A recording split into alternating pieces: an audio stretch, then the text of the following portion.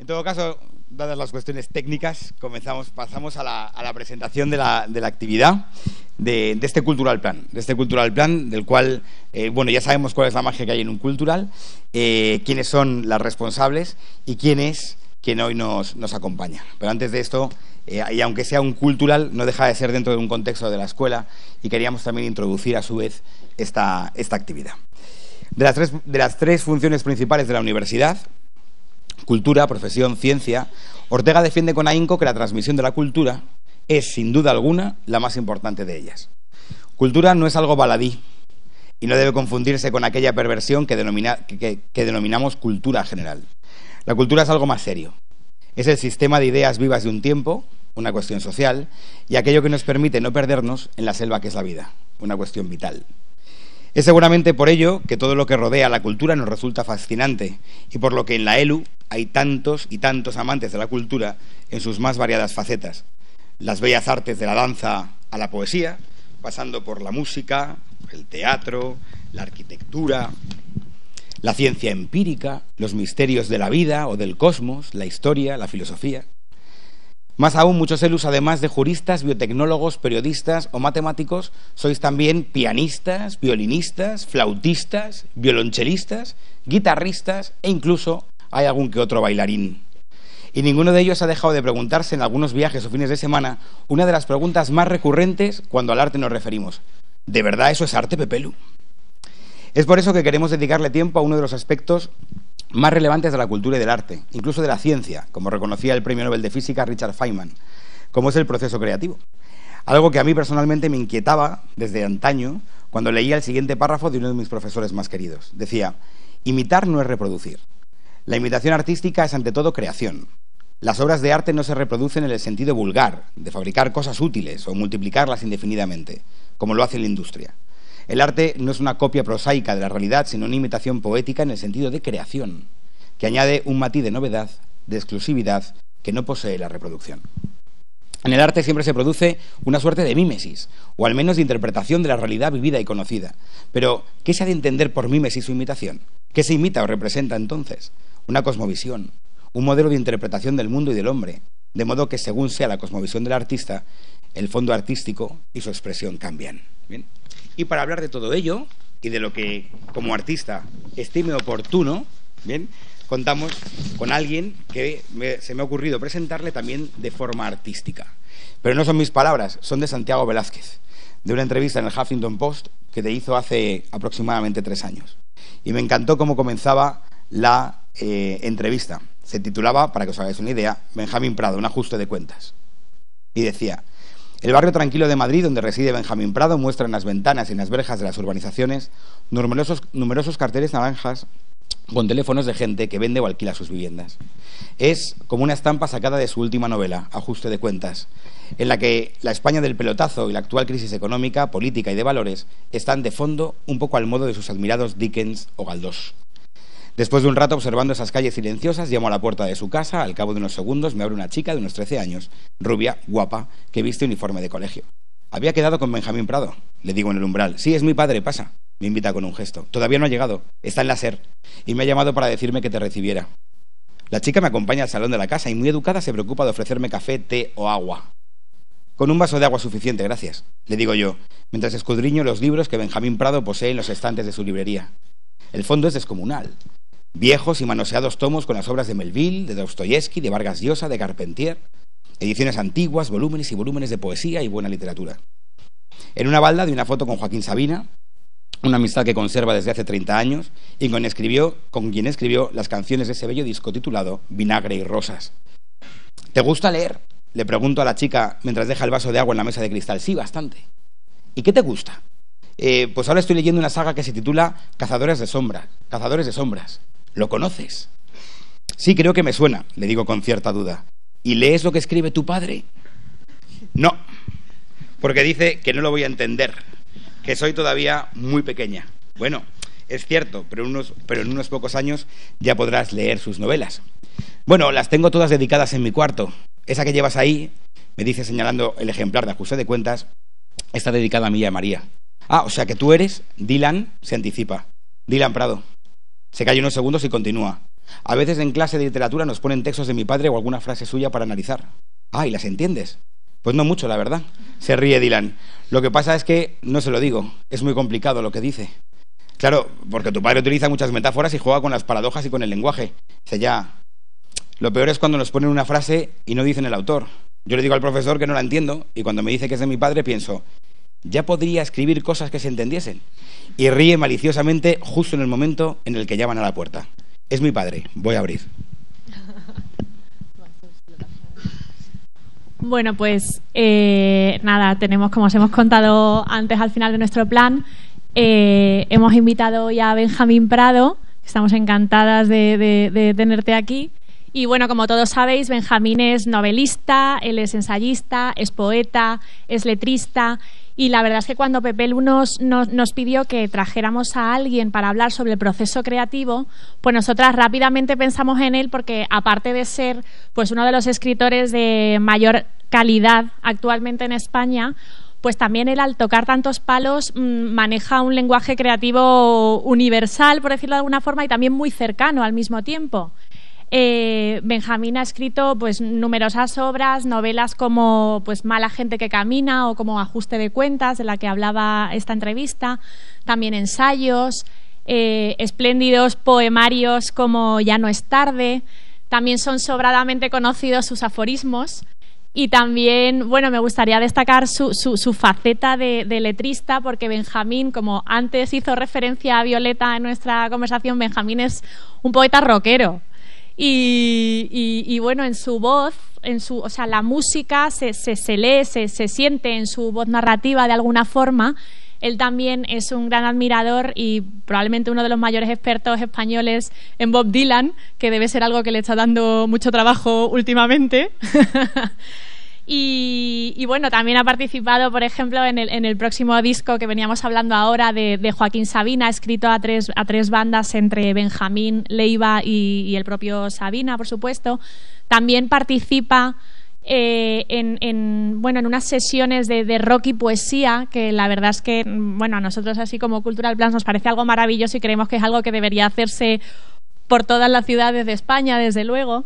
Así que bueno, por todos estos motivos, y ya no nos enrollamos más en la presentación para hablar con Benjamín, pero bueno, por todos estos motivos y porque creemos que es una persona que verdaderamente conecta con, con el público, pues por eso queríamos traer a Benjamín a hablar sobre el proceso creativo y bueno, y sobre lo que él quiera. Así que, que nada, aquí estamos ya, te cedo la palabra y bueno, mm, también luego después también podréis hacer preguntas, o sea, tendremos una conversación. Así que muchas gracias, Benjamín.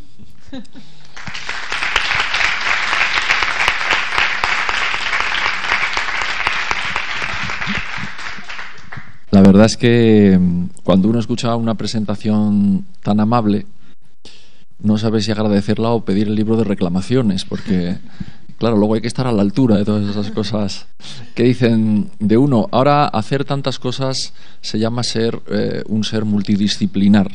Antes se llamaba ser un pluriempleado y, y a mí me, me, gusta, me gusta recordar esta segunda parte porque eh, no hay mejor manera de llevar eh, adelante el proceso creativo, que es hacerlo coincidir con el proceso crematístico, que es parecido, no es igual, pero cuando uno vive en un país donde eh, lee en un periódico, como leí yo el otro día, que eh, los actores españoles, de todos los actores españoles que hay, solamente un 8% puede vivir de su trabajo de actores, pues se siente muy agradecido de tener lectores y gente que te permita vivir de tus, de tus libros.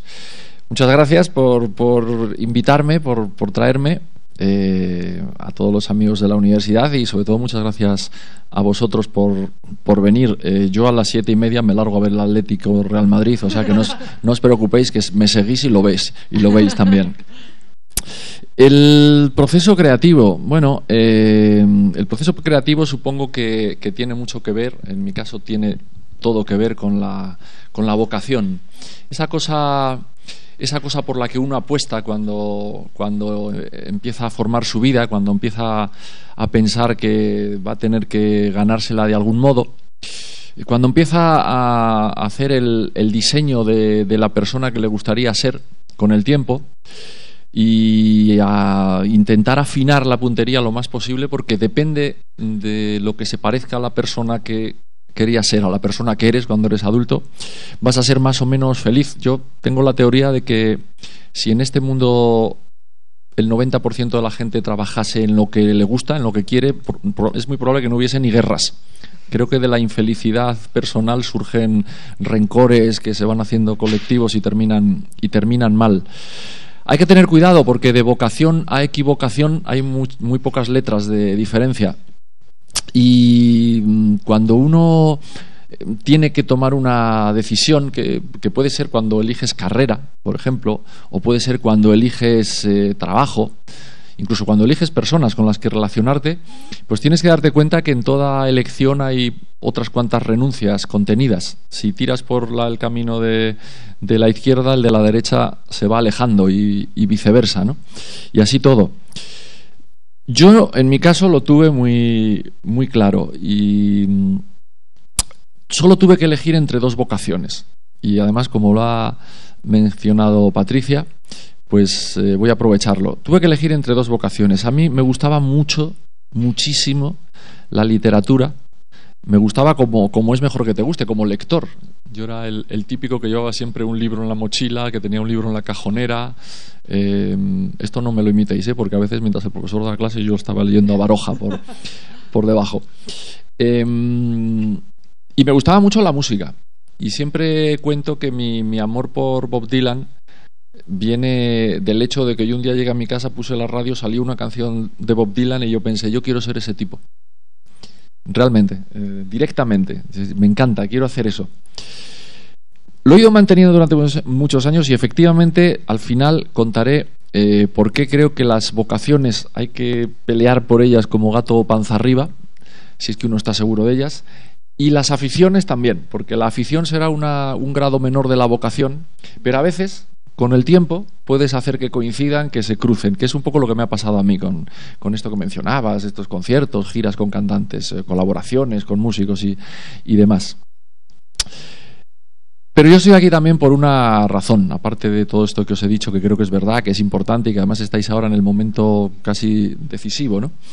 Em, también porque he tenido mucha suerte. Si no hubiera tenido suerte no estaría, no estaría sentado aquí. Desde luego eh, habría sido una persona culta, digamos, en el sentido de que habría leído lo que hay que leer, me gustaría el cine, me gustaría la música, me gustaría ir a una exposición.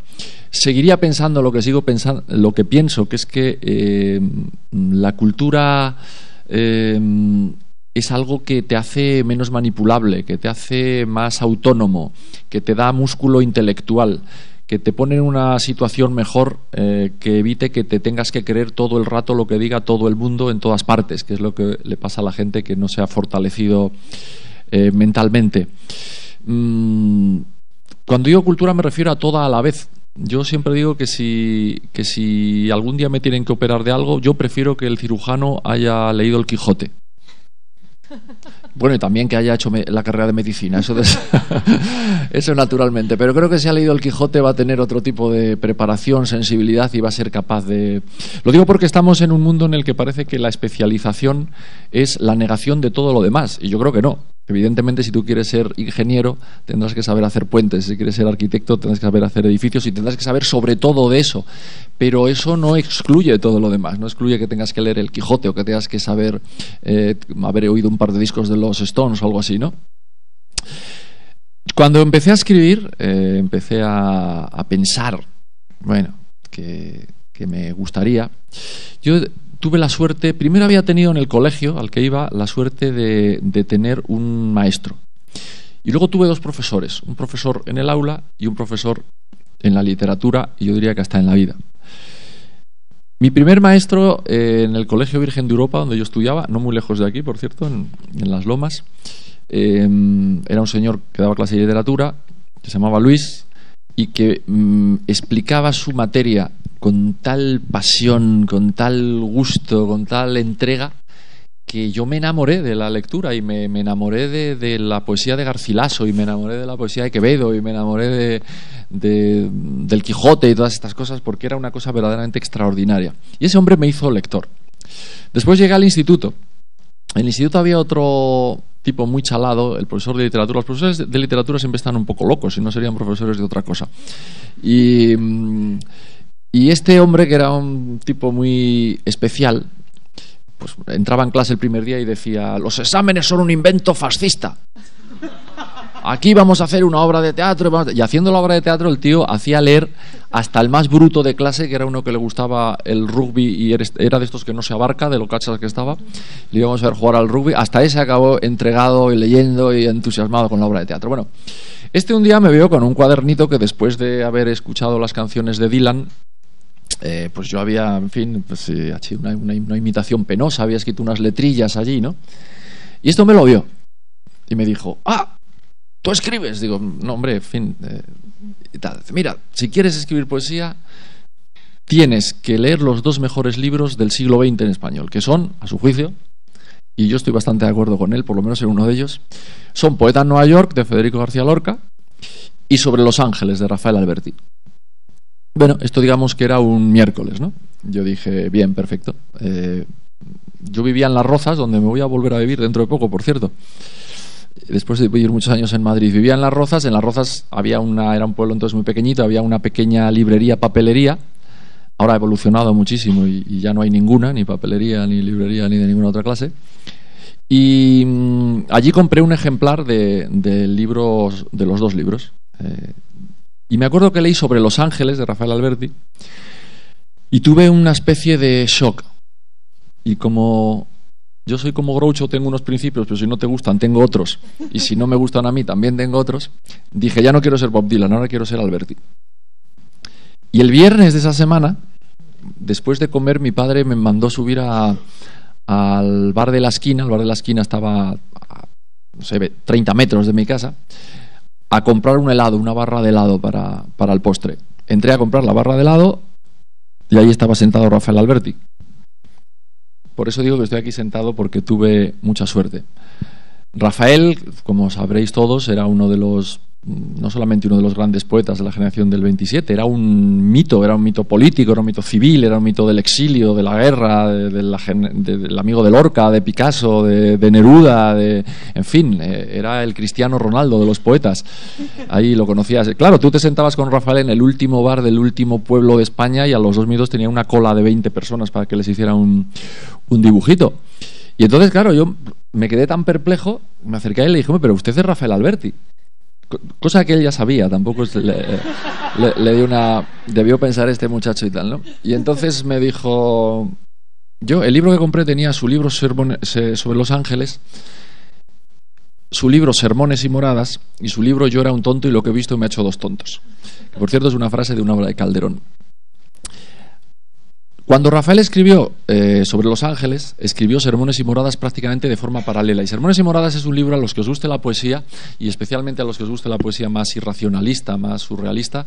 Es un libro muy importante, es un libro muy denso, es un libro tremendo, pero que fue devorado por la fama de Sobre Los Ángeles, que todo el mundo considera su obra maestra, y entonces él siempre se lamentaba de que cuando la gente le hablaba de Sobre Los Ángeles, nadie le hablase de su otro libro, que hasta donde yo sé ni siquiera ha tenido nunca una edición como libro en solitario, siempre ha salido así como en ese tomo de tres, en obras completas y tal, ¿no?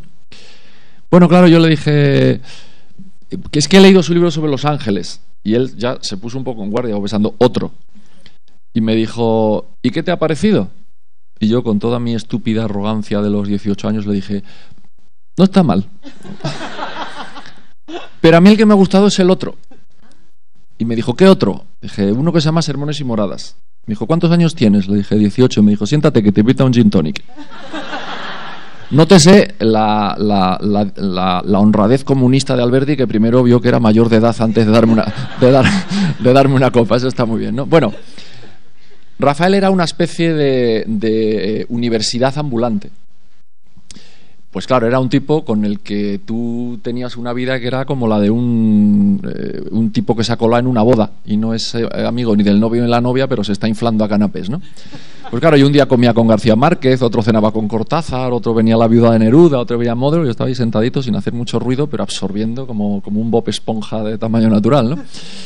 Em, Y aparte Rafael era un tipo que sabía de memoria toda la poesía española, era una cosa inaudita. Sabía de memoria toda la poesía española, desde las harchas, desde, las, desde el romancero tradicional hasta Machado, Becker y tal, era una cosa espectacular. Tú le empezabas a decir un poema y el tío lo acababa. Era un ejemplo de vocación absoluta, era un ejemplo de amor por su trabajo, era un ejemplo de fe en su trabajo, de, tener la confianza de que lo que hacía es que no solamente era para que alguien lo leyera y le gustara, sino que era una cosa importante, que era una cosa importante desde el punto de vista civil, que era muy necesario escribir uno de sus poemas. Cuando pasaba algo tenía que opinar. Tenía una fe en la poesía que yo se la recomiendo a cualquiera que quiera tener fe en lo que sea a mí fe es una palabra que cuando está dentro de las iglesias no me interesa mucho, pero cuando está fuera sí. Me parece que hay que tener fe en que uno puede eh, conseguir aquello que quiere y, da igual, porque el mundo, en el mundo siempre hay más gente que te pinche el globo que gente que te ayude a remar de toda la vida, ¿no? Pues bueno, hay que tirar por ello. Rafael era un ejemplo tan extraordinario de, confianza en la poesía. Bueno, os puedo contar. Eh, eh, una vez cuando eh, fuimos a una feria de estas que hacía todos los años el, diario El País, allá arriba de la calle Alcalá. Y a la salida de la feria, esto era de noche, nos paramos con el coche en, un, en la calle eh, Alcalá, en un semáforo, y vino por detrás un tarado y nos dio, pero bien dados. Y yo recuerdo que vi a Alberti, así como a cámara lenta realmente, ¿no? Como irse para atrás y luego irse para adelante romper el, parabrisas con la cabeza, caer al suelo, quedarse ahí hecho un ovillo y ver que una mancha de sangre se empezaba a extender por, por sus pantalones. Y yo pensé, joder, Benja, tú querías pasar a la historia de la literatura, pero no como el tío que se cargó Alberti. el tono, bueno. Aquello fue tremendo, el hombre estaba allí, eh, empezaron a oírse unas, unas sirenas, venía la gente, el coche se quedó atrapado, intentaron abrirlo, no podían abrirlo y tal. Y de pronto, en medio de todo aquel estruendo de cristales y coches y sirenas y bomberos, Rafael, para demostrar que su fe en la poesía iba más allá de la muerte, dijo: Benjamino, nos han matado. Mm, digo, no, no, Rafael, no te preocupes, que mira, ya viene una ambulancia. Dice, sí, sí, estamos muertos. Digo, no, no estamos muertos porque estamos hablando dijo una cosa genial, dijo, eso no demuestra nada. la sangre se seguía extendiendo por los pantalones y había unos tipos ahí intentando abrir las puertas con una palanca. Y juro, ¿eh? lo juro, lo que voy a decir que es verdad, ¿no? En ese momento dijo, bueno, vamos a hacer una cosa, voy a intentar acordarme de un poema de Rubén Darío, si me acuerdo es que no estamos muertos. Y allí en medio empezó el muy tarado a decir, en invernales horas mirad a Carolina, medio apelotonada descansa en su sillón, envuelto con su abrigo de Marta Cibelina, y no lejos del fuego que brilla en el salón, y dice, coño, ¿verdad? Estamos vivos. Entonces, para él fue una manera de demostrar, eh, incluso que no se había muerto. Imaginaos si tenía fe en la poesía. Bueno, yo he intentado eh, recordar que Rafael tuvo esa vocación hasta el último día de su vida. A él le gustaba mucho estar rodeado de, jóvenes como yo, como Luisito García Montero, otra gente, ¿no? Y siempre nos decía, mira chicos, primero, no seáis sectarios nunca. No dejéis de leer o leéis más a uno porque coincidís más con él ideológicamente, incluso porque coincidís más con él estéticamente. No seáis sectarios porque os perdéis cosas fantásticas y uno siempre aprende más de aquellos que no están de acuerdo contigo, del todo, ¿no? Bueno, los yankees tienen esa frase, ¿no? dos personas solo están absolutamente de acuerdo en todos y una es imbécil. Entonces está bien también. Y luego decía, y no seáis nunca de esos, cuando seáis mayores y seáis poetas, y sois poetas conocidos y lo conseguís, no seáis de esos que, siempre tienen, tienen celos de los más jóvenes y, se, viejos rabiosos y, y, cascarrabias que no aceptan el éxito de la gente joven. Al contrario, aprended de vuestros discípulos. Y eso Rafael lo hacía como nadie competía con nosotros. Era una cosa maravillosa ver a un tipo que estaba en todos los manuales de, literatura de, del mundo seguramente, ¿no?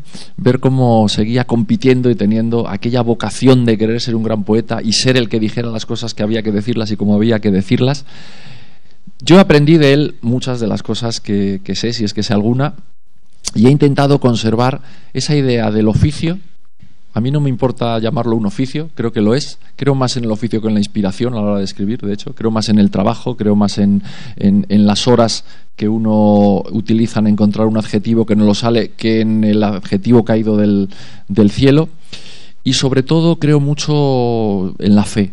Creo que hay que mm, estar siempre, siempre, siempre peleando por lo que quieres y por lo que ya tienes, para seguirlo haciendo un poquito más grande. Ahora que hablabas de lo de oficio, yo te quería preguntar, ¿la creatividad entonces se trabaja? Absolutamente. un escritor lo primero que tiene que ser es un lector eh, furibundo, a ser posible desordenado, caótico, leer por la mañana el Marca y por la tarde a Rilke. Em, porque si no puedes convertirte en un descubridor de Mediterráneos. Y hay gente que empieza, es normal, cuando la gente es joven, empieza a escribir rápidamente, escriben cosas muy arrebatadas, cosas muy sinceras, cosas que les tocan muy, muy de cerca. Y creen que inventan cosas que están inventadas en el año 20. Entonces conviene primero haber trabajado mucho la faceta de lector pero como en cualquier otro trabajo, yo me imagino que aquí eh, hay futuros, futuras y futuros ingenieros y arquitectos y abogados y, profesores y, de todo. Em, hay músicos, me han dicho que hay gente que le gusta tocar instrumentos. Todos sabéis que para aprender a tocar un instrumento uno no se sienta al piano y ya es eh, Jelly Roy Morton, ni, ni coge la guitarra y ya es Eric Clapton. Hay un aprendizaje, hay unos ensayos eh, eh, infinitos. Hay que conocer, si sabes leer una partitura, mejor. Puede ser Eric Clapton y saber leer una partitura, pero entonces tienes que ser Eric Clapton. ¿Hay algún Eric Clapton en la sala? partitura. Em, ¿Por qué pensamos a veces que para la literatura no? Para todo lo demás hace falta estudiar, trabajar, ensayar, fracasar mil, mil veces, romper mil veces un poema hasta que el poema esté entero. ¿Por qué pensar que en la literatura no? Yo creo que en la literatura también. Y creo que la lectura y el ensayo que no puede ser otro que escribir y escribir y escribir hasta que consigas escribir algo que sea de verdad tuyo. Eh, en los demás aprende uno a ser uno mismo siempre, en la vida, eh, para ser eh, abogado y para ser escritor también si después de estar cinco horas buscando una frase, la encuentras y lo quieres llamar inspiración, pues me parece, me parece muy bien, ¿no? Pero yo prefiero llamarlo trabajo. Luis García Montero, cuando estuvimos con él, que aparte nos hizo mucha referencia a Alberti, de hecho también, y porque él hizo su tesis, ¿no? Creo eh, con él y nos contó como, bueno, también que era uno, uno más de la pandilla, que sabéis. Em, pero volviendo al tema de, la creación, em, también no, o sea, ¿qué es lo que legitima, por ejemplo, hablando ya de poesía, ¿Qué es lo que legitima que algo sea un poema? Eh, ¿qué, lo valida? Porque, por ejemplo, Luis García Montero nos decía que un poema es válido si emociona, eh, ¿Tú qué nos dirías que dónde está...? Lo que pasa es que emocionar viene después. Primero hay que trabajarlo. Primero hay que ver la manera de emocionar. Galdós decía que, escribir es como trasplantar una flor tropical al frío norte. Decía, el frío norte sois vosotros, el lector. Eh, tiene que crecer allí.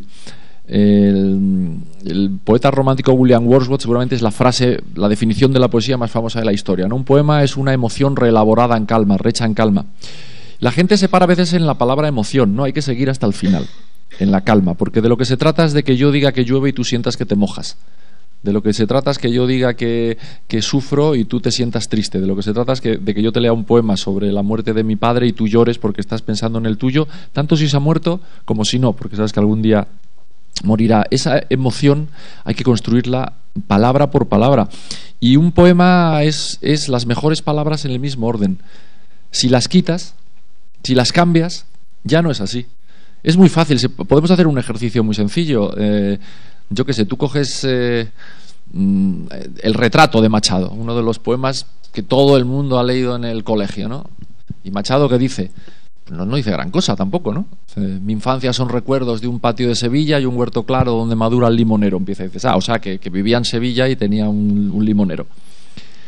Vale, en el idioma hay una cosa que se llaman sinónimos, que en teoría sirve para decir lo mismo con otras palabras. Cambiémoslas del poema de Machado, ¿no?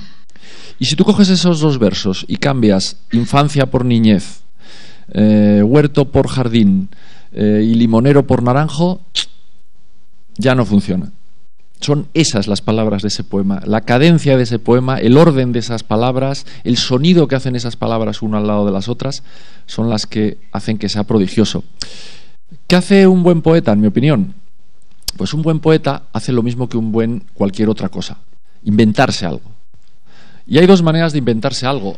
Eh, hacer algo que no existía o hacer algo que existía pero hacerlo de otra manera. ¿Qué hacen los poetas? Pues establecer relaciones impensables antes de ellos, antes de su poema genial, entre palabras que nunca habían estado juntas, ¿no? Como las parejas raras. Y dices, anda, mira, Vargas, yo soy la Presley. Pues esto es lo mismo, ¿no? Tú coges eh, a Neruda haciendo su poema a la cebolla, y Neruda hace un poema a cebolla, y dices, oye, ¿cómo es un poema a una cebolla? Eh, querrás decir un poema a un atardecer, a la primavera. No, no, a una cebolla. Entonces Neruda, lo que pasa es que a la cebolla le llama redonda rosa de agua. Eso ya no se nos había ocurrido. Ya las ensaladas no saben igual después de leer a Neruda. O le llama unos calcetines liebres suaves. O le llama unas tijeras pájaro que vuelan las peluquerías. Nadie se le había ocurrido hacer una cosa así, ¿no? O lees a Paul Valéry, lees el cementerio marino de Paul Valéry, uno de los... Eh, y todos habéis estado en el mar, imagino, ¿no? Eh, ¿A qué suena el mar, no? Tú que eres de Cádiz, ¿a qué suena el mar? El sonido del mar es triste, alegre, melancólico, es el sonido de la vida, el sonido de la muerte. Y Paul Valéry en el cementerio marino de pronto mm, dice, ese tumulto análogo al silencio. Dices, wow, ¿cómo puede ser el tumulto y el silencio, cómo pueden ser análogos? Pero qué hallazgo, es que no es cierto que es ese tumulto análogo al silencio. Yo lo sé, yo cuando oiga el mar me voy a acordar de eso siempre. Ese verso va a cambiar mi percepción del mar como el verso de Neruda cambia mi percepción de la cebolla. Evidentemente yo cuando esté en Rota, en Cádiz, en un chiringuito con unos colegas no voy a decir qué hermoso es este tumulto análogo al silencio, porque quedaría como un gilipollas. Pero yo lo voy a, yo lo voy a saber. Voy a saber que eso suena a eso porque lo dijo Valeria. Entonces cambiar la percepción de las cosas, escribir cosas que sean memorables, en el sentido de memorizables, en el sentido de eh, alteradoras de aquella percepción que tú tenías de las cosas. A eso es a lo que yo creo que tiene que aspirar todo buen poema. Uno lee el Quijote y ya no piensa lo mismo de los locos. ¿Está loco? Para empezar, te preguntas cuando acabas el Quijote. ¿Ha cambiado tu percepción sobre si un poco de locura quizás sea la mejor manera de tener un poco de aventura, un poco de, de rareza, un poco de emoción en la vida, ¿no? ¿Y cómo hace uno para ser constantemente creativo? Y no, no sé, no, no repetirte a ti mismo, no... Bueno, eh, hay gente que, que se repite mucho. Eh, y está bien, cada uno hace. A mí me obsesiona no repetirme, cada uno tiene ahí sus obsesiones. La mía es no repetirme. Es muy fácil, tú sabes perfectamente lo que ya has hecho. Es muy fácil. A mí, se, a mí se me ocurre algo y digo, venga, tío, esto ya lo has hecho. Así, es así de, es así de fácil. Y además, por mucho que tú quieras cambiar, quieras que no tienes, es como tu voz. Es como tu voz. Tú tienes una voz y tu voz es reconocible. Me refiero a la voz, esto que estáis oyendo, no una voz literaria, sino la voz real, la voz eh, física, la voz sonora. Yo puedo cantarte un tango de Gardel o te puedo cantar una de Serrat, pero mi voz va a estar ahí. Y aunque los imite, aunque yo quiera ser un imitador, mi voz va a estar ahí, ¿no? Con la literatura pasa igual, ¿no? Por mucho que tú quieras hacer una cosa súper distinta, la gente le dice, ah, sí, Benja. pero está bien, hay que intentarlo por lo menos, ¿no? Eh, García Márquez dijo una frase muy triste, dijo, uno siempre escribe el mismo libro distinto. Mm. Yo prefiero que escribir libros distintos aunque los escriba el mismo. Entonces, ¿es un peligro, por ejemplo, de tener éxito con los lectores, el perder la conciencia crítica? No, yo escribo para los lectores. A mí cuando la gente me dice eso, yo escribo para mí, digo, pues no publiques, tío, porque yo escribo para esto, escribo para que se lo pasen bien. Y también aprendí de Rafael, que era un poeta verdaderamente eh, extraordinario y un poeta que, iba a cualquier sitio y, y, lo abarrotaba, o sea, le iba a la gente. Y Rafael, yo le acusaba de no leer a veces sus mejores poemas oye, ¿por qué no lees tus poemas eh, de sobre los ángeles y tal? Porque él leía los que tenían como más éxito, lo que hacían que la gente lo pasara mejor. Tenía un respeto muy grande por la gente. Decía, chicos, que aquí la gente viene, aquí están sentados y yo les tengo que entretener. Y la palabra entretenimiento que se ha abaratado tanto, porque claro, ¿cómo no se va a abaratar con la, con la televisión que tenemos, ¿no? Evidentemente, la palabra entretenimiento y, casi la palabra ocio se ha abaratado de tal manera que casi da miedo decirla. Pero a mí me importa mucho entretener a la gente que lee un libro mío. Por supuesto, porque si, si, no tú puedes haber hecho la cosa más maravillosa del mundo, la más eh, mm, rara y la más compleja, y lo que tú quieras, pero si el que lo lee se le cae de las manos, es muy difícil. Entonces, yo creo que hay que escribir siempre para los lectores porque, por lo que te decía antes, porque el prodigio es el prodigio es que en el lector se reproduzca, eh, se reproduzcan tus emociones, Yo es tremendo, yo tengo, yo en el último, que lo tienes ahí, por cierto, en el último libro de poemas que publiqué, eh, no, no, no, no te lo sabes. Em, tuve que escribir un poema sobre mi madre que murió hace año y medio y es un poema terrible y es un poema mm, desgarrador. A mí me, parte en dos haberlo escrito y me parte en dos eh, leerlo a veces. Y lo leo, pero cuando lo he leído ha sido tremendo, eh, porque yo estaba, he estado leyendo ese poema y levantaba los ojos y veía a, la mitad de la sala, pero no llorando, sino llorando, quitándose las lágrimas así con la mano. Era una cosa para mí impresionante.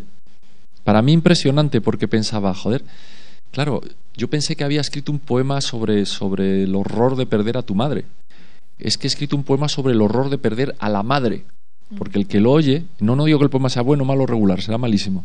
Pero el que lo oye, lo que te decía antes, si todavía tienes madre, mm, le dan muchas ganas de conservarla y de quererla mucho y no y de no perderse un minuto con ella. Y si no y si, si no y si no la tiene pues va a compartirlo igual sabes esa es la magia de la literatura. En realidad uno piensa pero si es mi madre a ti qué te importa no me conoces de nada por qué, por qué te emociona esto o por qué te emociona tanto bueno es que eso es lo que pasa. Tú ves una película y lloras y sabes que es una película. Mm. ¿no? Yo soy muy llorón, yo puedo llorar con Rocky 5, o sea, decir, eh, eh, mm, no tiene nada que ver conmigo. Sé que el muerto luego lo voy a ver vivo en otra película, si quieres, pero el arte consiste en no permitirte racionalizar eso. En que tú no estés ahí sentado diciendo, pero si esa luego la he visto yo en otra peli, está, está, está viva, si se acaba de casar. No, mientras estás viéndola, estás creyendo en ese drama y lloras, pero lloras por ti, no lloras por ellos. Mm. Lo mismo que mientras estás viendo, leyendo Frankenstein, no puedes decir que médicamente es imposible coger cadáveres, coserle la cabeza al cuerpo de otro y que salga andando. No, pero estamos hablando de otra cosa, estamos hablando de la locura, estamos hablando del miedo, estamos hablando de, estamos hablando de la sensibilidad, estamos hablando de, cómo la brutalidad hace más brutos a los que ya lo eran, estamos hablando de muchas cosas. Si no, ¿para qué escribimos, eh, para qué escribimos Frankenstein? ¿No existe la ciencia ficción o ese tipo de cosas? ¿no? Bueno, porque significan cosas para nosotros de nuestra vida, por lo tanto se escribe para los demás, no para uno mismo. ¿Y tú que escribes prosa, que escribes poesía, que escribes canciones? ¿Cómo, o sea, ¿Cómo se canaliza tu impulso creativo? ¿De qué forma? ¿Por qué te sale de repente una canción o, algo lo quieres contar en, en, una novela? O sea, ¿cómo... No tengo la más remota idea. Ni idea. Sé, que me viene una idea, yo siempre escribo a, partir de una idea, como supongo que se hace un puente a partir de una idea, ¿no? Eh, bueno, o si eres calatrava de una ocurrencia, pero puede ser de una, idea, puede ser de una idea también, ¿no? Em, cuando me llega la idea, te juro que nunca he tenido la duda de decir, ya, pero ¿y ahora qué hago con esto? ¿Hago una novela? ¿Hago un relato? No, por alguna razón cada sombrero viene en su sombrerera y ya sé perfecto. De hecho, sí, pues mis cuadernitos, yo soy muy de cuadernitos. Aunque esté escribiendo una novela, se me ocurre una cosa que yo sé que va a ser para un poema y cojo y, pongo P. Y ya lo veré. Cuando, cuando escriba poemas lo miraré, igual lo, lo desarrollo si me sirve, ¿no? No lo sé, eso es un misterio para mí, la verdad. Sabría decirte. Antes, bueno, nos has hablado de Alberti, nos has dicho que has compartido mesa con García Márquez, con, bueno, no, no, sé. Sí, y lo mejor de todo, siempre han pagado ellos. no sé si nos puedes decir de alguien, yo es que claro, me dices que has comido con García Márquez y me hacen los ojos chiribitas, eh, pues de qué manera han, han, podido espolear, te han, te han, o sea, te han alimentado tu, creatividad, tu, universo. Bueno, me ha alimentado más leer sus libros que conocerlos a ellos, la verdad. No quiero decir que algunos sean decepcionantes, otros menos. Unos te gustan más, otros te gustan menos.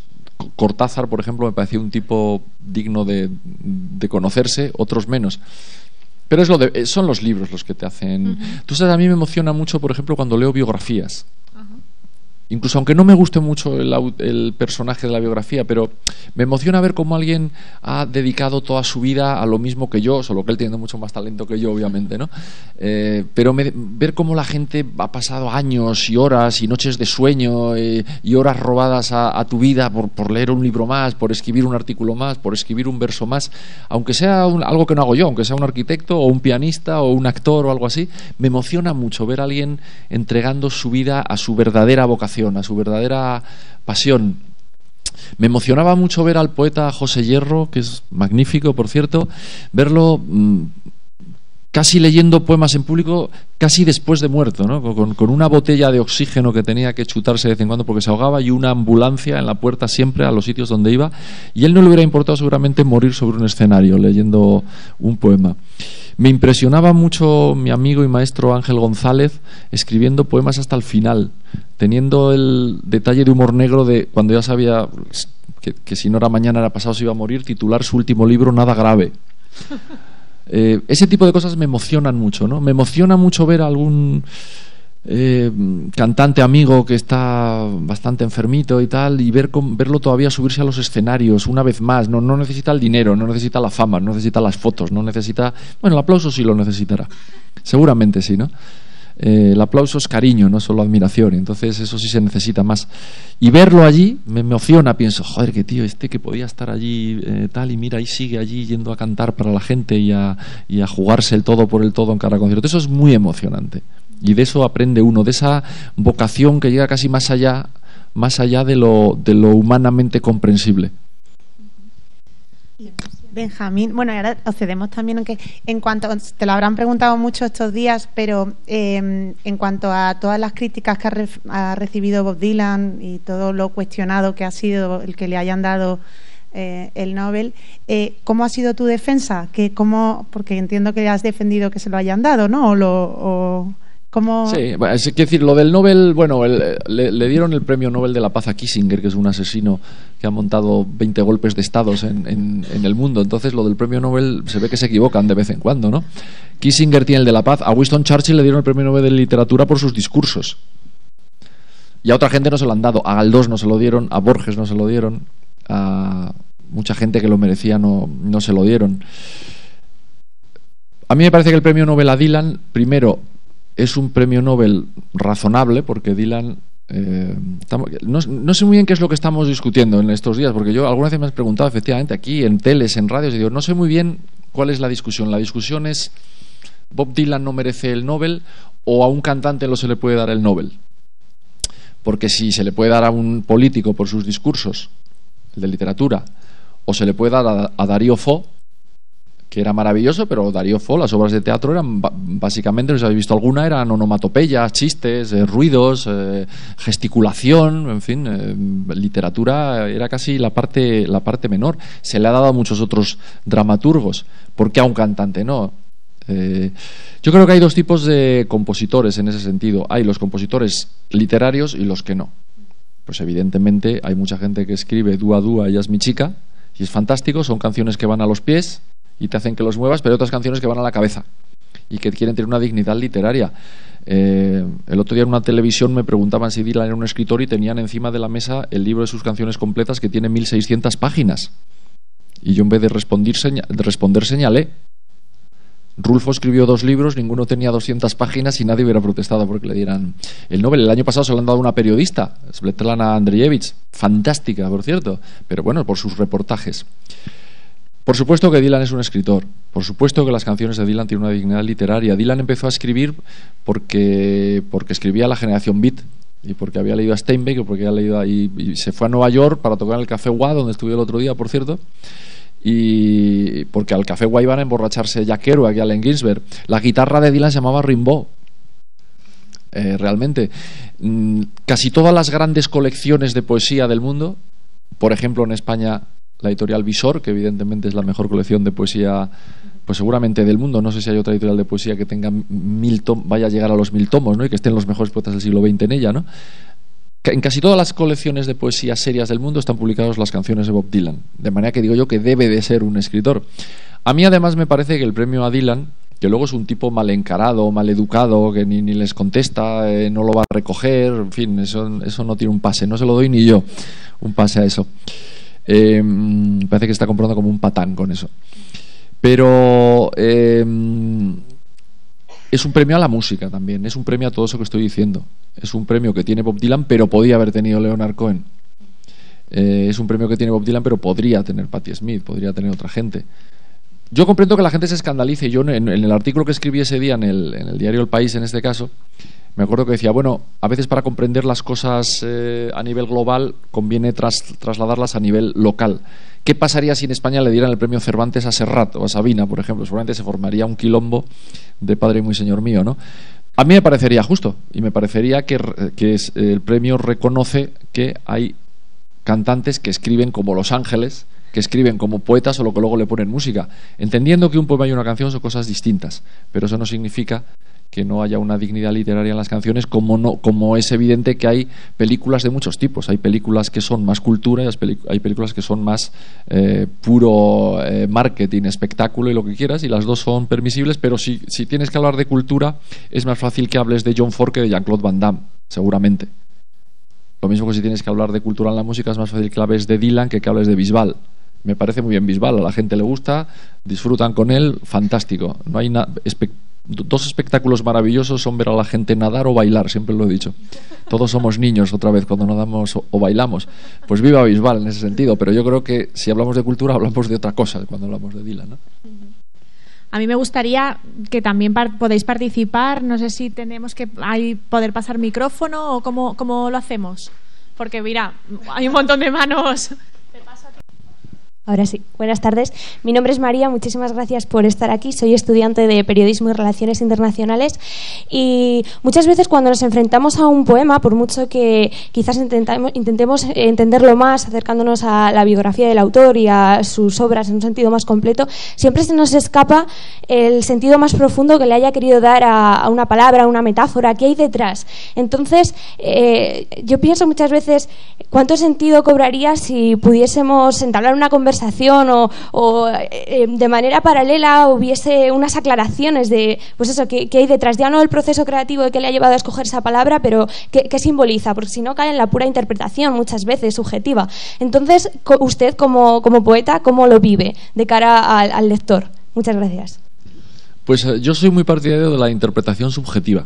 Yo creo que el poema dice Mm, algo que quiere decir el autor y dice algo que quiere entender el, lector, el poema, la novela y todo. Y eso cuando uno ya ha publicado bastantes libros como yo y tienes la suerte de poder hablar con lectores aquí y allá, en ferias del libro, en encuentros, en, demás, eh, te das cuenta de que no sabes del todo lo que has escrito hasta que no te lo dice quien lo lee, porque es verdad que alguien te comenta, oye, y tú piensas, joder, pues la verdad es que no había caído yo, que, pero, pero bueno, sí, pues seguramente está ahí cuando, cuando se ha visto. Yo me acuerdo una vez, eh, Jaime Gil de Viedma, que es uno de los poetas que más admiro, eh, y seguramente su poema más conocido se llama Pandémica y Celeste. Es un poema como hacía Jaime los suyos, muy trabajado, em, al que le dio mil vueltas, con una estructura muy, muy compleja. Eh, bueno, aunque él era tan bromista, ¿no? Y un día le preguntaba a un periodista, ¿cómo consiguió usted escribir un poema tan complejo? Y Jaime dijo, bueno, la verdad que lo escribí eh, durante una reunión de negocios. Y dejó un juicio mientras hablaba yo. Pero no era cierto, ¿no? Eh, trabajamos. Entonces, él me contó una vez que justo el día después de meses eh, trabajando en ese poema, lo consiguió rematar a su gusto. Por fin acabó su pandémica y celeste. Y entonces justo llegó a su casa un novio que tenía entonces y Jaime le dijo, oye, lee esto a ver qué te parece. Y él vio que el muchacho leía la primera estrofa, luego leía la segunda y volvía a la primera, las leía las dos, leía la tercera y volvía otra vez a la primera y Jaime le dijo, oye, ¿qué estás haciendo? Y dijo, no, es que me quiero asegurar de que lo entiendo. Y Jaime le dijo, no, pero es que el poema no lo tienes que leer así, tú léelo entero. Y si el poema te conmueve o te emociona o te sorprende o te intriga o te provoca cualquier otro tipo de, emoción, entonces preocúpate de entenderlo de, verdad. Claro, esa pregunta que me haces mm, tampoco es la misma si me la haces a mí que si se la haces a otro. Porque se la puedes hacer a un poeta que sea mucho más hermético que yo y tenga mucho más necesidad el lector, efectivamente, de, darle vueltas y de intentar comprender de lo que vas a tener que hacer si lees un poema mío, porque creo que lo vas a entender todo mm, a la primera. Y que lo más, eh, digamos, como decir, eh, mm, rebuscado que puede tener, que es determinadas metáforas, a mí me gustan mucho las comparaciones y este tipo de cosas, pero creo que se entienden perfectamente. Entonces, en mi caso, no vas a tener ningún problema vas a entender el poema perfectamente. ¿Te va a gustar? ¿No te va a gustar? ¿Va a ser el tipo de poesía que a ti te interesa? ¿No lo va a ser? Eso, eso es otra historia. Ahora, si te lees un poema de Paul Celan, pues vas a tenerlo muy complicado y vas a tener que saber algo de él. Porque si tú lees el famoso poema de Celan, eh, Negra leche del alba, ¿no? Eh, y oyes cómo eh, les hacían cantar, no sé qué, eh, ellos seguían el ritmo de las palas, pero canta negra leche del alba, no sé qué.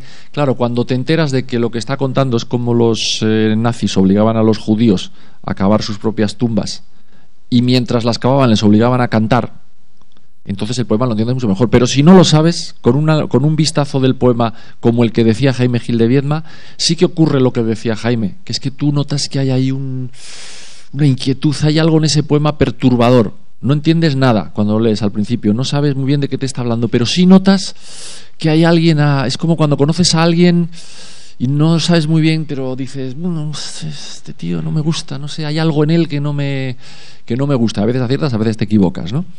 Eh, yo, por ejemplo, gano mucho cuando aún no se me conoce, pero bueno, hay otra gente que es, que es al revés. Em, depende del poeta al que se lo preguntes. En mi caso, te aseguro que no necesitas ninguna nota ni ninguna explicación. Lo vas a entender fantásticamente bien. Bueno, muchas gracias por sus palabras. Yo soy Maite y estudio Filología Hispánica en la Complutense. Y una de las frases que se me quedaron retumbando en la cabeza después de leer Ya no es tarde es cuando decía que el dolor es lo que un golpe recuerda de nosotros, porque parece como que la persona misma, aunque se recupere del, golpe, hay una parte de ella que se queda en la situación. Y le quería preguntar si para ustedes el dolor es esencialmente negativo o si además de contribuir en el proceso creativo, como también hace Eric Clapton con la muerte de su hijo, también es quizás la forma más humana de sentirse vivos, ¿no? Como despertar de los sentidos, como darnos cuenta de la vida de forma experiencial. Lo voy a explicar mucho peor de lo que lo has explicado tú, sin, ninguna duda, porque es, es, así. Yo creo que la alegría se recuerda, el dolor se vuelve a sentir. Si es un dolor de verdad, realmente se vuelve, se vuelve a sentir. Yo desde que ha muerto mi madre, cada vez que veo una señora que me recuerda a mi madre, se me llenan los ojos de lágrimas, no puedo evitar. No, no, es, un, no es que me acuerde de mi madre, es que parece que se, que se ha muerto hace diez minutos y con eso pasan muchas cosas. Lo que pasa es que yo creo que al dolor hay que intentar enfrentarse de la única manera que nos podemos enfrentar en esta vida a las cosas duras, que es contándonos mentiras. Y en mi opinión, las mentiras más hermosas son las mentiras de la cultura, las mentiras del poema, las mentiras de la canción, las mentiras de la película, todo aquello que te entretiene, que te saca un poco de, de ti mismo, que te lleva a otros lugares y que hace que la vida sea un poquito más pasable. Eh, entre todas las frases publicitarias que he oído en mi vida, a estas alturas imaginaos que ya son muchas, eh, ninguna como aquella de ¿y ¿te imaginas un mundo sin música? Realmente sería terrible. Solo pensarlo, la verdad, te imaginas la tristeza de un mundo sin, música. Entonces al dolor eh, hay que enfrentarse. Hay que enfrentarse a todo. Hay que enfrentarse también a la alegría. Hay que enfrentarse al éxito. Recordad lo que decía Oscar Wilde, un tonto nunca se repone de un éxito. Tener cuidado, muchísimo cuidado, con que no te convierta en un, si tienes algún tipo de éxito, con que no te convierta eso en, alguien que baja la guardia y que, se considera ya el kilómetro cero de, de los demás, porque no es así porque no es así, ni mucho menos, menos en este mundo tan diverso donde todos cambiamos tanto de cosa, de gusto, de disciplina y demás. Pero por eso el dolor es lo que un golpe recuerda de nosotros.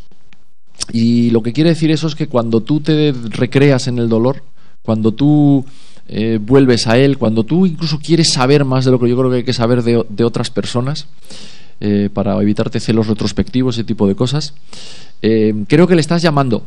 Si te recreas en eso, creo que el dolor te recuerda y es como que se te reabre la herida. También es verdad que en la literatura, como en las canciones, el, dolor, la tristeza, el pesimismo, la melancolía tienen mucho más prestigio que la alegría. Y es mucho más difícil escribir un poema alegre, escribir un libro de celebración, que escribir un libro de queja.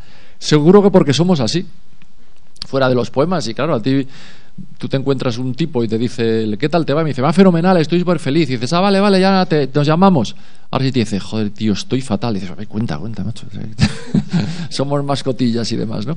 La poesía tiene mucho más prestigio también y en la canción seguramente la todo lo, todo lo malo, todo lo dañino que todo lo positivo. El gran reto, yo se lo recomiendo muchas veces cuando hago talleres de, de poesía, que procuro no hacer mucho porque son muy cansados, pero cuando eh, me veo obligado a hacer uno, suele decir, intentad escribir un poema sobre la alegría, sobre la felicidad, sobre, sobre el amor, sobre algo que os parezca positivo, porque vais a caer en menos tópicos.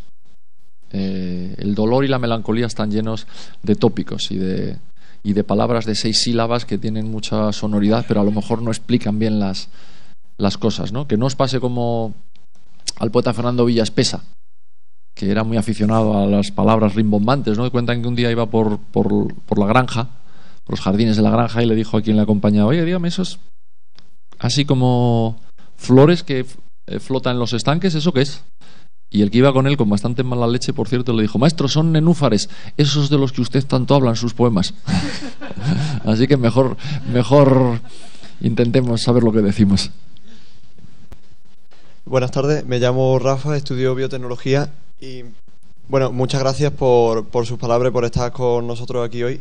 Eh, me gustaría preguntarle en el sentido de lo que nos ha transmitido de la importancia de, del sentimiento y de elaborar sobre la transmisión del sentimiento en el poema Además de eso, ¿qué papel juega el componente estético en la, en la literatura? Si es que juega alguno en su opinión. O sea, ¿es solamente sentimiento o se necesita algo más? Sí, el, sentimiento estético. Eh, es la parte de afuera y la parte de afuera es muy importante. Eh, es como una persona, ¿no? Eh, realmente tú te puedes enamorar de una tía porque está muy buena o de un tío que está muy bien, es muy comprensible, pero valoras otras cosas también, ¿no? A las personas hay muchas maneras, luego también hay muchas maneras de ser guapa o guapo, ¿no? También la inteligencia es una manera de ser guapo, o, tener una sonrisa bonita, o ser capaz de escuchar, o, ser, o saber mirar las cosas, o ser capaz de comprender. Hay muchas cosas en un ser humano como para reducirlo todo a es más guapo, o más feo, o más fea, o más guapa, a fin de cuentas según los criterios del que, del que mira. Con la literatura pasa igual. Yo creo que tienen que tener un, un lejos los poemas, tienen que tener un aquel, tienen que tener algún tipo de, de exterior que, te, que de entrada te guste, que coincida con tu idea de la, de la poesía, que coincida con tu idea de la literatura. Hay gente a la que le gustan los libros con frases brillantes, hay gente a la que le gustan los libros secos, hay gente a la que le gustan los libros duros, hay gente a la que le gustan los libros con más acción, los libros sin ninguna acción y que todo sea muy moroso. Eso ya depende de los gustos de, de cada uno.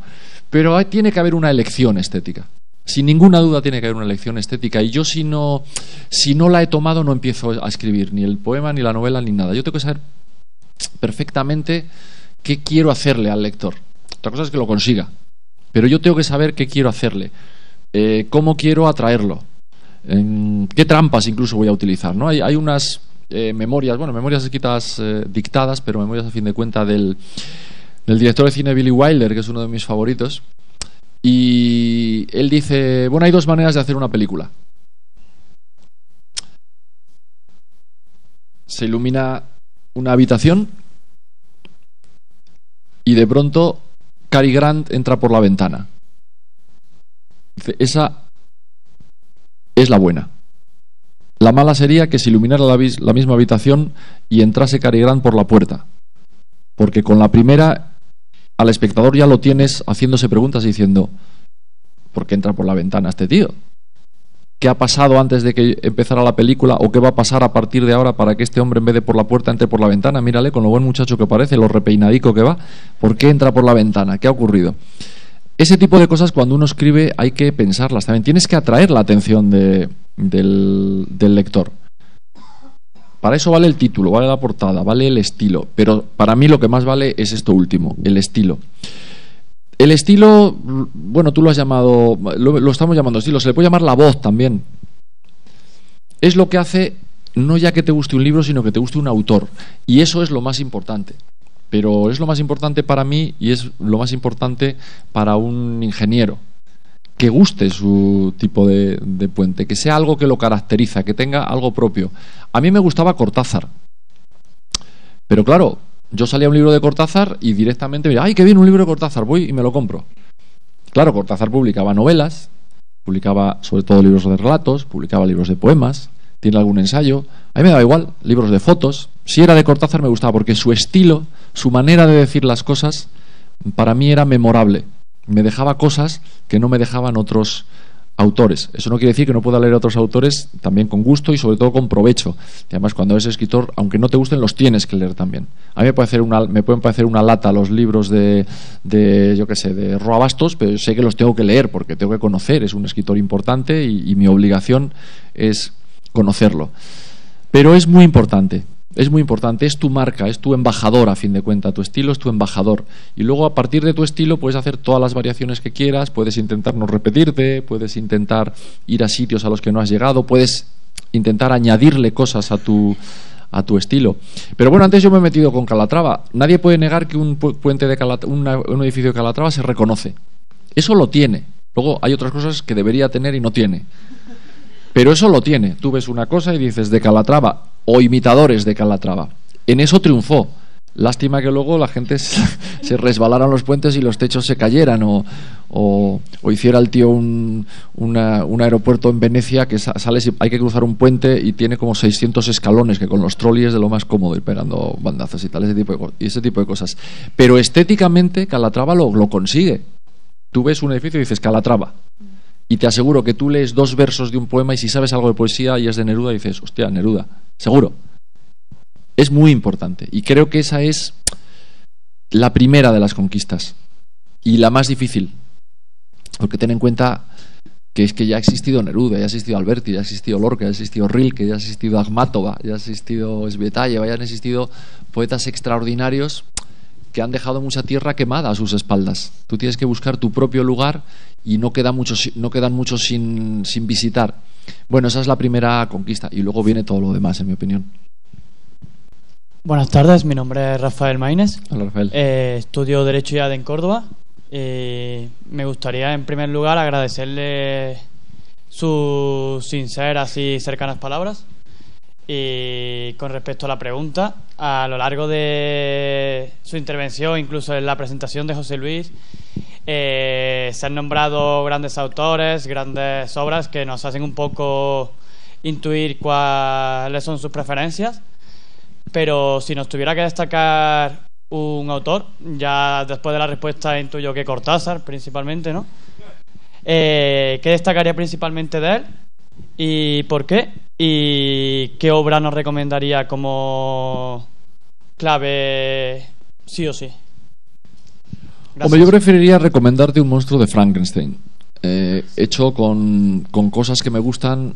Por ejemplo, si hablamos de poesía, pues me gustaría que tuviera un ojo de Lorca para las metáforas, para poder decir eh, en los montones de azafrán los niños machacaban pequeñas ardillas, o para poder decir entre los juncos y la baja tarde, qué raro que me llame Federico. Eh, otro ojo podría ser de de Octavio Paz, que es un poeta que me gusta mucho por su inteligencia, por su manera de ir más allá de lo que dice. Un oído, desde luego, sería de Alberti Fijo. Tenía un, seguramente es el poeta con mejor oído de toda la literatura en nuestro idioma. Los poemas de Alberti se han musicado mucho porque ya son, porque ya son música, realmente. Eh, una mano de Neruda estaría muy bien que tuviese un pie de Akhmatova que era capaz de ir hacia, hacia cualquier sitio por lejos que estuviera con tal de encontrar el poema, por mucho dolor que le causara ese poema, fue durante meses y meses todos los días a una cárcel de San Petersburgo donde estaba encerrado su hijo y ahí fue formando el poema Requiem, que es uno de los y el poema Sinero son dos de los poemas más conocidos del siglo XX. Preferiría recomendarte un, un monstruo de Frankenstein. Si te pones cansino y me obligas a, a elegir uno solo, yo creo que en el mundo de la poesía mm, yo me quedaría con Neruda. Porque Neruda hizo aquellos tres libros llamados Odas Elementales, que son de los que hablaba antes, en los que fue capaz de escribirle un poema al, caldo de congrio, un poema a los zapatos, un poema a la manta, un poema y por supuesto un poema a la biblioteca, un poema al cuero, un poema y es una cosa prodigiosa, esa ambición en realidad un poco megalómana de querer encontrarle la poesía a todo, de querer dignificarlo todo, de querer encontrarle la metáfora a cualquier a cualquier objeto, ¿no? Eh, pues el tío ve una gamba y le llama pequeño alfanje que se pone al rojo vivo, ¿no? Cuando la cueces, ¿no? Le están eh, todo el rato encontrando cosas dentro de dentro de los de los poemas. Seguramente me quedaría por ese valor que tuvo de intentar eh, no dejar nada sin su poema. Me quedaría con Neruda, con Pablo Neruda. Y entre los novelistas yo siempre me quedaré con Kafka. Creo que es el novelista que se lo inventó todo, absolutamente todo. Luego hay otros que me gustan más que Kafka, pero creo que él tiene, tiene el copyright de, de todo aquello que luego me ha impresionado. Eh, hola, buenas, me llamo Alfran, vengo de Valencia y estudio magisterio y composición de música. Y bueno, o sea, antes has estado hablando sobre que te han preguntado que por qué escribías y tú siempre ya has dicho, has respondido que, que tú escribías para tu público. Pero una pregunta que me han planteado y que yo no he sabido responder, eh, o al menos no completamente, era cuando me decían, eh, vale, pero dentro de lo que es el arte, eh, ¿está implícita que la función del arte es que tiene que ser leída por un público? O sea, ¿cómo de... O sea, una obra cuando la metes en un cajón y no la lee nadie deja de ser arte porque la has metido en un cajón. Por ejemplo, ahora que has puesto el ejemplo de Kafka, Kafka pidió que en su lecho de muerte, si no me equivoco, que quemasen su, su obra. Entonces, si lo hubiesen hecho, hubiese significado que la metamorfosis no hubiese sido arte o una expresión artística. No lo hubiéramos sabido porque no lo habríamos leído y por lo tanto no tendríamos elementos de, elementos de juicio. Kafka pidió destruir su obra, Pessoa no publicó prácticamente nada en vida. Emily Dickinson, que es una poeta extraordinaria, tenía todos sus poemas estaban metidos en baúles. No sé si publicó dos poemas en su vida en, dos revistas. Pero es muy difícil eh, establecer sistemas de medidas si no hay con qué compararlo. Algo y la manera de establecer el sistema de medida del libro es el lector, pero no el lector inmediato, no el lector del éxito inmediato ni del bestseller, sino el lector sostenido. Eso que los americanos llaman el long seller, incluso más allá de eso. Es decir, el hecho de que todavía sigamos leyendo a Kafka es muy significativo. El, hecho de que todavía sigamos leyendo a Neruda o sigamos leyendo a, Flaubert. Eh, son cosas que han contribuido a nuestra idea del mundo han contribuido a, nuestra, a, nuestra, a la formación de nuestro propio carácter, desde luego de nuestra sensibilidad. Y todo eso ha ocurrido porque ha habido quienes la han leído, quienes la han hecho críticas, quienes la han estudiado, quienes la han padecido, si les ha gustado, quienes la han disfrutado. Y sí me parece que es necesario eh, que llegue al, a, a, puerto la obra, la obra artística. Si las meninas se hubieran quemado, ¿qué hubiera pasado, no? ¿Habrían dejado de ser las meninas? ¿Le habría quitado algún valor a las meninas, que creo que es el mejor cuadro de la historia, seguramente? El otro día leí un libro maravilloso que se llama Velázquez desaparecido, donde había una frase del, del, famoso crítico de arte Richard Ford que decía que es que Velázquez, si Velázquez es el mejor pintor de la historia es porque pintaba el aire que respiraban los modelos. Y yo no sabría explicarlo, pero estuve muy de acuerdo con la frase. Creo que Velázquez es capaz de pintar el aire que está respirando el, personaje. Habla de un cuadro de Velázquez desaparecido, un, retrato que hizo de Carlos I, no el español, Carlos I el inglés, el que, el que los ingleses decapitaron. Em, Claro, no lo hemos visto, no, no, no, no hemos llegado a saber cómo era. Parece que era prodigioso. Todos los, los pocos, eh, según cuenta la, eh, Laura Rani, que es la, profesora que lo ha hecho, eh, los pocos testimonios coetáneos que existen, parece que lo describen como un cuadro maravilloso que causaba una impresión en quien lo veía inolvidable. Nosotros no lo podemos ver, ha desaparecido. Entonces, ¿eso le quita valor? No lo creo que le quite valor realmente, pero sí que le quita uno de los efectos que, o el efecto más importante que ese valor puede, puede tener, que es el que causen los demás, porque además ese va a ser el efecto que consiga que la obra perdure. Una novela que no lee nadie puede ser estupenda, pero ¿cómo lo sabemos si no, si no la leemos? ¿no? En, el, en el lector, en el receptor, en aquel que lee o mira o escucha, eh, está la, la supervivencia de la obra. Si no, desaparece y es como si no hubiera existido. De hecho, a mí me gusta publicar libros, pero me obsesiona que se reediten, que no estén agotados, que no haya algo que haya hecho en lo que haya trabajado mucho y de pronto no esté, me da igual, una edición de bolsillo, otra editorial, pero quiero que si alguien lo quiere leer lo tenga a su disposición. Así que creo que sí que es muy importante que Max Brod no le hiciera caso a Kafka y publicara, diera a la, imprenta sus libros. Creo que es muy importante que la mujer de Nabokov rescatase el manuscrito de Lolita del Fuego y haya llegado hasta nosotros. Y creo que es muy importante que alguien abriese los baúles de Emily Dickinson y de Fernando Pessoa. Así. Bueno, Benjamín, antes de, dejarte que te vayas a ver el fútbol, te queremos pedir si nos recitas uno de tus poemas, si los lees, y ya, y ya con eso cerramos cerramos el encuentro, el que tú, el que tú quieras. Bueno, pues leo el primero y ya está. Para complicarme. Se llama Cuestión de Principios, así que no, no viene mal. Un poema que diga también lo que no dice. Un poema que escuche a quien lo lee.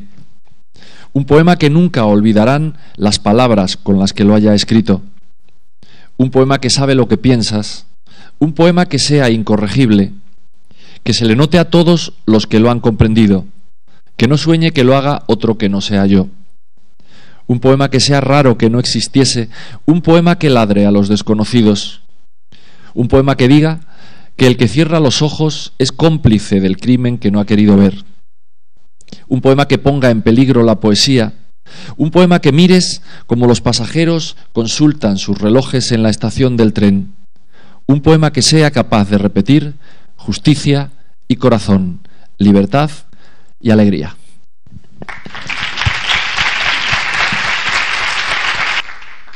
Bien, bueno, qué, lástima que lo tengamos que dejar aquí, eh, sobre todo viendo el ambiente y viendo la, tertulia. Sin duda tu poema es muchísimo mejor que aquel que dice mi niñez son recuerdos de un patio de Sevilla y un jardín claro donde madura el naranjo, que es bastante feo, efectivamente. Queda muy mal.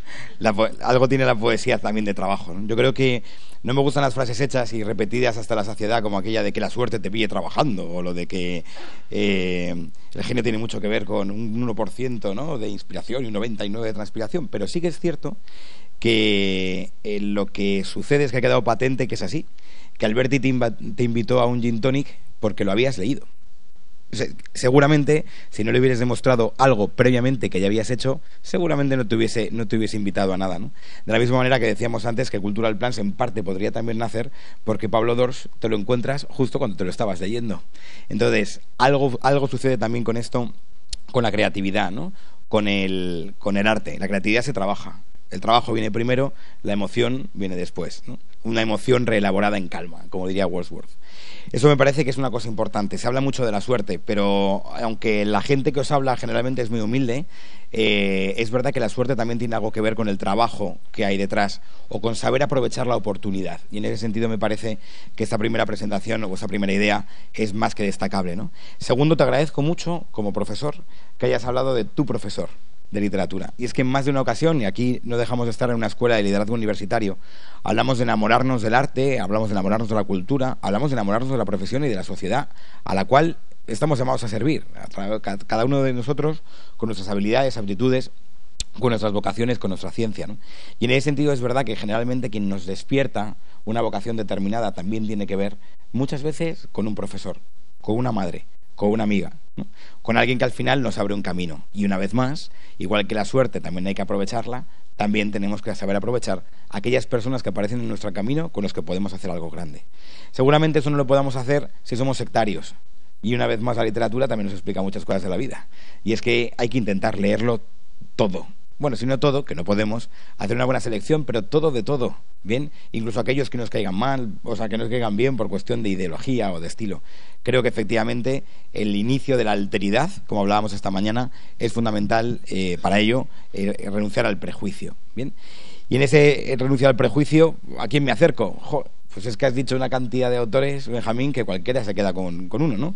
Eh, Alberti, Hierro, Lorca, Ángel González, Valery, Neruda, García Montero, Wordsworth, García Márquez, Gil de Viedma, Celan, Clapton y Dylan, Wilde, eh, Billy Wilder con el cine, Cortázar, Roa Bastor, Akhmatova, Rilke, Dickinson, Pessoa, Kafka, Nabokov. Y así seguramente si estemos contigo una hora más, esto se multiplica por 15 y si estamos un día más contigo se multiplicará por 50. Bueno, nosotros a toda esa playa de, autores podemos a partir de hoy incluir el tuyo, Benjamín Prado.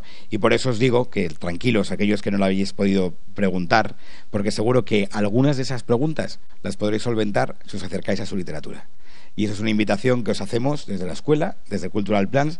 También muchísimas gracias a Violeta y a Patricia una vez más por dejarnos compartir esta tarde con Benjamín Prado. Gracias, Benjamín. Esa es tu casa cuando quieras. Gracias.